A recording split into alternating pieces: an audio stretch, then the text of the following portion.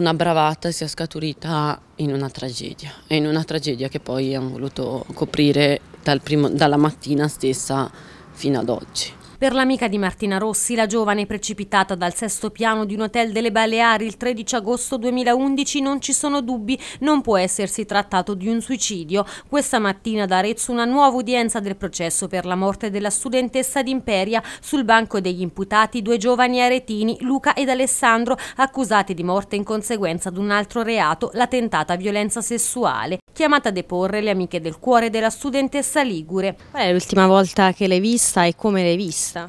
Pochi giorni prima della sua partenza a Genova, a Principe, alla stazione.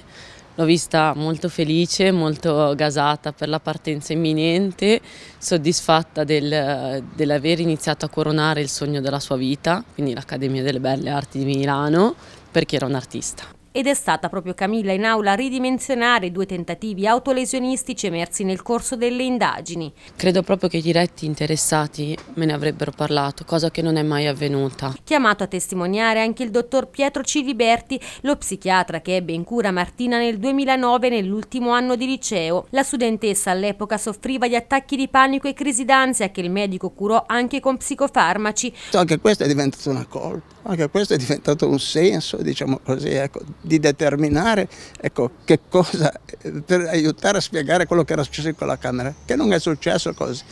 Una crisi legata all'imminente esame di maturità e al dolore per la fine di una relazione con un ragazzo, disturbi risolti secondo il medico già nel 2010. Per fortuna era passato, eppure, no, eppure ci ha lasciato la pelle.